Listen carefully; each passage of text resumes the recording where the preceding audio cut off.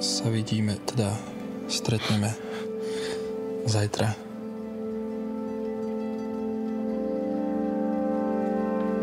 Ešte jedna vec.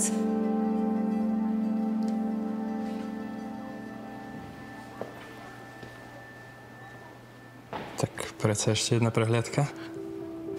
Nie.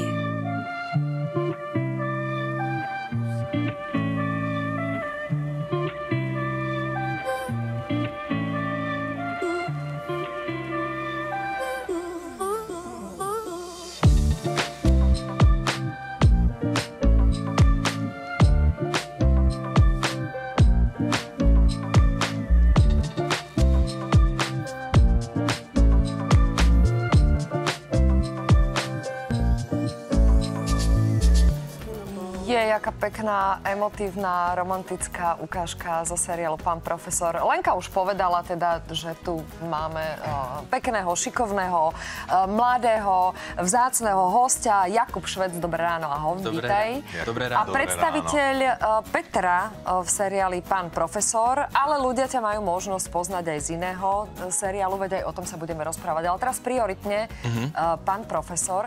Prosím ťa, prezrať nám, čomu bude, akej téme venovaná táto časť, ktorej uh, ty hráš spoločne s Viktoriou ústrednú postavu. No táto časť, mal som šancu si ju pozrieť na Vojo tento týždeň s mojou maminou, a, lebo som bol doma v Banskej Bystrici, tak sme si to spolu pozreli. A, tak táto časť si myslím, dosť sme sa na nej narobili, to musím priznať. A tak V snáď... akom zmysle dosť sme sa na nej na, narobili, keď to porovnáš s ostatnými časťami? Čo to, čo to znamená? Um, táto časť je veľmi, je veľmi krehká, je veľmi emotívna, je tam veľmi veľa emotívnych scén a treba veľmi premyslene dbať na to, aby sme ten príbeh postupne dávkovali a viedli diváka rôznymi smermi. Takže, takže, takže dosť tá príprava predtým bola celkom intenzívna. No a myslím si, že vyšla z toho taká krehká, aj vtipná a celkom silná časť.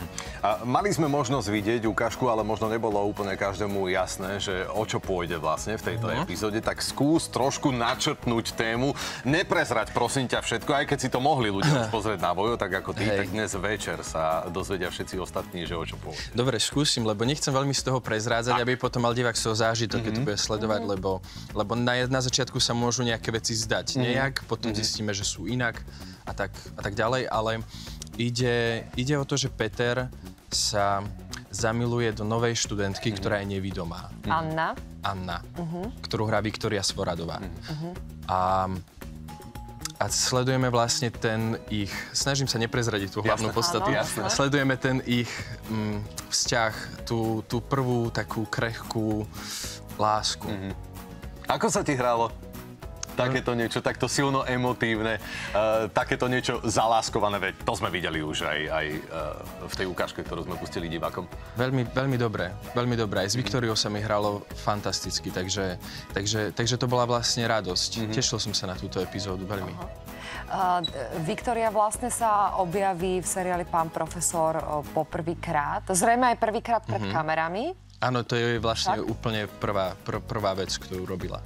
Ale toto e, sa často opakuje v seriáli Pán profesor, keďže je to aj o mladých ľuďoch a o študentoch, že sa tam často objavujú ľudia, ktorí napríklad aj neštudujú herectvo, pre ktorých je to prvá skúsenosť s herectvom a e, s tými kamerami. Ako sa tebe spolupracuje e, s takýmito ľuďmi? Pretože ty si napriek tomu, že si taký mladý človek, e, už ostrielaný herec, ktorý účinkuje a účinkoval aj v iných seriáloch, to znamená, že s tou kamerou sa poznáš, navyše hráš v divadle.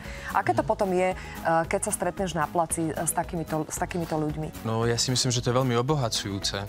Lebo práve preto, že nemajú akúsi skúsenosť už predchádzajúcu, tak, tak prinášajú nejakú, nejakú sviežosť, nejakú čerstvosť vždy tých momentov a to je, to je podľa mňa veľmi obohacujúce. Že to nie je nič učené, ale že také, také prirodzené, nie? Že... Áno, áno, že, že vlastne z nich výjdu také úplne ako keby prvé inštinktívne veci, ktoré niekedy možno až tak nefungujú, ale väčšinou si myslím, že, že zafungujú tak, ako majú.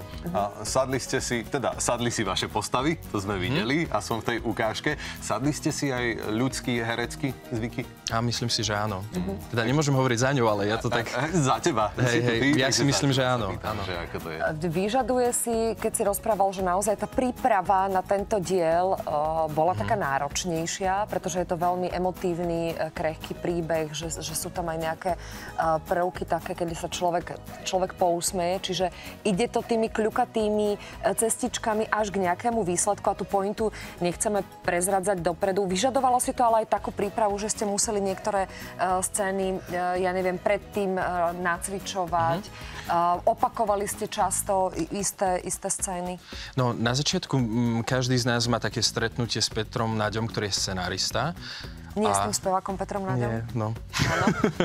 Ale a teraz sa mi stala normálne prvýkrát taká vec, že ja mu, som mu povedal, že, že Peťo, podľa mňa nie úplne fungujú nejaké momenty, alebo možno toto by mohlo byť inak a on, jeho reakcia bola, že dobre, tak to zmeňme.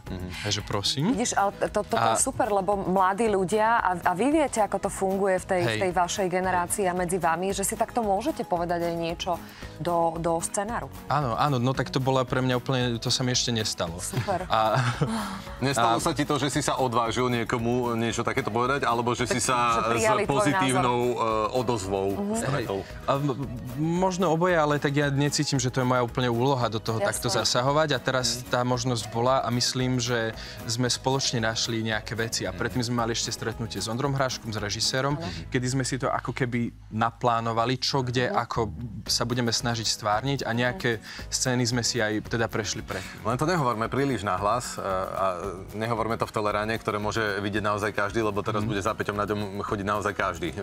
A nemohli by sme, Peťo, toto spraviť inak, nemohli by sme toto spraviť e, inak a bude mať chudák Peťo vrázky na čele. A je podľa teba dôležité hovoriť o tých, o tých, o tých niekedy ťažkých e, témach, ktoré v pánovi profesorovi vidíme? Absolútne. Prečo? Absolútne, pretože je to vec, ktorá nás učí nejaké možno citlivosti, nejaké empatii a, a to je podľa mňa úplne zásadné, pretože to je niečo, čo ľudí zbližuje a nevzdialuje od seba. A napríklad aj tu je téma, že Anna je nevidomá a, a ja si myslím, že aj v našej krajine je celkom vhodné sa venovať ľuďom, ktorí, ktorí možno nepatria k tej väčšine, pretože mám taký niekedy dojem, že ako keby väčšina u nás má také, taký pocit, že má právo ako keby od tých ostatných vyžadovať to, aby sa prispôsobili. Kdežto naopak by to možno mohlo byť tak, že miesto nejakej šikany voči tým menšinám by sme sa my mali snažiť um, ich citlivo Začleniť. začleniť, um, pomôcť im, aby žili rešpektovane a, a vlastne rovnoprávne. No, uh, neľahké témy otvára aj seriál Dunaj k vašim službám. Tam tá citlivosť a empatia Kde- tvojej postave chýba teda. Kde ale hráš teda úplne e, inú postavu. Si tam Julo. Taký ten, taký ten zlý, d- divákom nesympatický, hej, ne, nemajú ťa tí diváci radi. A preto by ma zaujímalo, že či ťa normálne v civile identifikujú, spoznávajú ako Jula, či sa ti napríklad stáva to, že si ideš do bufetu vypýtať 10 deka tresky s rožkom a tá bufetárka ti povie, že nie, tebe nedám, lebo ty si ten zlý Julo. A však sme to videli. Uh, Lenka, keď išla okolo, Ježiš, ty si super, ale toho zlého nácka, čo tam hráš.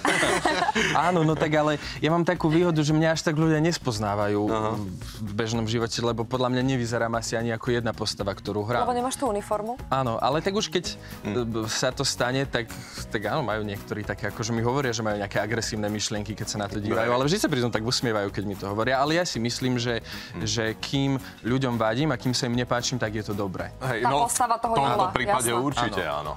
Áno.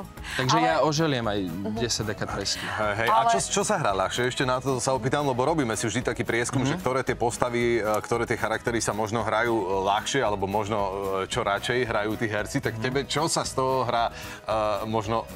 Čo hráš radšej? Toho, tú negatívnu postavu, že tam sa vieš herecky viac vyšantiť, Mhm. alebo práve, že niečo takéto edukatívne, veselé, pozitívne? Vôbec to nemám takýto nejaký Nemáš, rebríček, ale Um, obidve tie postavy sa mi hrajú veľmi dobre, lebo obidve sú pre mňa nejaká výzva. A vždy sa tým pádom na to teším, lebo, lebo Julo je teda totálne iný podľa mňa ako som ja, aj Peter je iný ako som ja a vlastne hľadať, hľadať v sebe nejaký prístup, aby som zobral tie ich problémy za svoje, tak to ma neskutočne baví. No, a tak to má byť asi. A nie si potom, ja neviem, alebo čo robíš, keď si, keď si povieš, že už si teda unavený z toho prepínania z dobrého na zlého, zo zlého na, na dobrého. Ako ty relaxuješ? A, ako detoxikuješ tie, tie myšlienky v hlave? No to ešte neviem, ja hľadám tento spôsob re, um, nejakého relaxu alebo tak. Mňa to zatiaľ stále akože všetko baví. Aj, aj toto Aha, čiže nepotrebuješ. Tak je, je to ísť niekedy vyčerpávajúce, ale Pozri, mladý Inak- človek, plný energie, ešte Áno, nepotrebuje áno. mať ten ventil. Uh, rozumiem tomu, ale neboj sa, to príde. Tým ťa nestraším, len dopredu ťa upozorňujem, Ne, že, neboj že, sa, to príde, tým ťa nestrašne. že aj, aj toto bude. Ale ja som povedala, že uh, ja keď uh, tohto človeka stretnem normálne aj tuto na chodbe alebo kdekoľvek uh, na ulici, tak uh, ja absolútne v, v ňom Jula nevidím, uh, pretože je to úsmievavý, vysoký chalan, ktorému sa, aj keď sa neusmieva ústami, tak sa mu uh, smejú oči. Oči, takže ja v tebe toho Jula ako fakt nevidím. A Čo ťa čaká dnes? Ideš točiť, alebo máš úplne iné povinnosti? uh, dnes sa musím pripravovať na ďalšie dni, takže idem čítať scenáre, Takže texty do divadla a tak, a tak ďalej. No. Máš aj ty také, že prokrastinuješ, že sa tak odkladáš, odkladáš a že potom na poslednú chvíľu niečo robíš? Uh, stáva sa to, ale snažím sa to nerobiť, pretože mám potom z toho stres a napätie. Áno, je to stres, Tak sa z toho chcem nejako vyhnúť. Ani my si nebudeme odkladať na poslednú e, chvíľu jednu príjemnú vec, ktorá nás teraz čaká. 15 tisíc eur Mhm. mm chceme niekomu odozdať. A my máme stres, pokiaľ ide už o takéto sumy, lebo je to veľká zodpovednosť, Je to povedzme si na rovinu. Ale poďme do toho, plný energie, elánu a nádej, že sa to niekomu podarí. Jakub, ty drž palce.